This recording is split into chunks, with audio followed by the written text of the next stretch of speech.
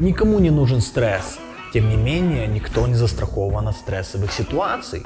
Так вот вам 7 советов, как эффективно бороться со стрессом и победить.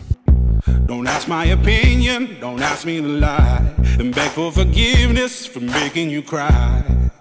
Стресс – это защитная реакция твоего организма на негативное событие. И да, он вредит тебе, буквально сокращая твою жизнь, делая тебя старее, снижая выработку основного гормона тестостерона, убивает твою либидо, энергичность, настроение и в целом желание жить. Повышая кортизол, это гормон стресса, увеличивает твой аппетит, одновременно разрушает твои мышцы и наращивает жировые клетки, делая тебя толстым и женоподобным. И я уже молчу про снижение иммунитета, гипертонию, риск инфаркта, инсульта и практически любых других болячек, во время этого периода. Но есть выход. Приемы, которые помогут тебе снизить влияние стресса или в целом избежать его. Совет первый. Воспринимай стрессовую ситуацию по-другому. Потерю денег, будь то кража телефона или разбил машину или проиграл, воспринимай как просто дополнительные затраты. И вообще все проблемы, которые решаются при помощи денег, называй просто дополнительные расходы а не трагедия жизни. Остальные негативные ситуации, конфликты на работе, тяжелую работу или неадекватных клиентов, а также ссоры с друзьями или с девушкой, так же как и разбитое лицо в подворотне, воспринимай как очень полезный и необходимый жизненный опыт. Ведь именно проходя через эти испытания, ты формируешь свою личность. И чем достойнее ты проходишь эти испытания, тем достойней твоя личность. Второе. Масштабируй. Да, тебе тяжело сейчас.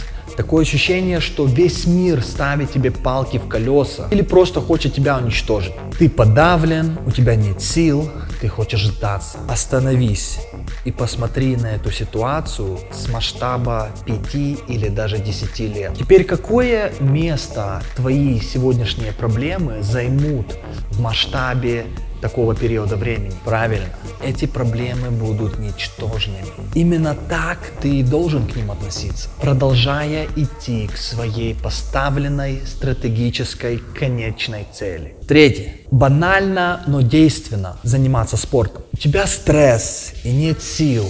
Самое время идти в зал. Ведь человек это гормональная машина. И наше поведение в большой, ты даже не представляешь себе, насколько большой, степени контролируют гормоны. Именно из-за гормонов тебе хорошо и ты смеешься, или ты подавлен и хочется плакать. Так вот, улучшить соотношение положительных гормонов тебе поможет тяжелый тренинг. Во время тренинга у тебя произойдет выброс тестостерона и одновременное снижение кортизола. В мозг поступят эндорфины, и ты почувствуешь небольшую эйфорию и заново начнешь верить в свои силы. Четвертое. Домашнее животное. Пушистое, мягкое и теплое. Это то, что тебе нужно во время стресса. Погладить кошку, поиграть с собакой или потрогать любое другое существо – это то, что тебе необходимо во время стресса, как таблетка парацетамола во время головной боли. Пятый пункт. Прогулка на природе. У моря, в лесу или в горах – это не столь важно. Главное возле источника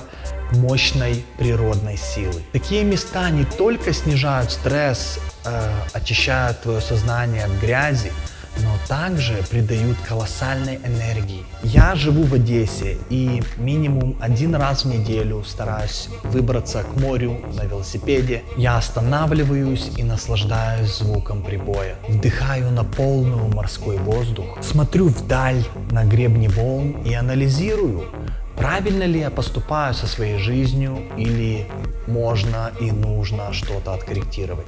Шестой пункт. Прослушивание музыки. Лучше всего комбинировать с предыдущим пунктом и, например, э, гулять на природе, слушая музыку. Не обязательно слушать веселые песни в надежде поднять настроение. Слушай музыку, соответствующую твоему текущему состоянию. Есть много исследований, доказывающих, что даже спокойная, немножко грустная музыка также помогает бороться со стрессовым состоянием. Музыка наподобие slow version It's My Life от Bon Jovi. Попробуй, очень мотивирует. 7. Конечно, общение с родными и близкими друзьями. Это те люди, которые поддержат и выслушают тебя в любой ситуации. Но главное, что ты сможешь посмотреть на свою тупиковую ситуацию с их неангажированной точки зрения. И, возможно, она тебе покажется уже не такой тупиковой и ужасной. И вообще вы можете найти решение этой проблемы вместе, разобрав ее детально. Это были 7 советов, как бороться со стрессом, чтобы улучшить качество жизни. Если у тебя есть вопросы или предложения тем, оставляй внизу. Maybe I'm foolish, maybe I'm blind.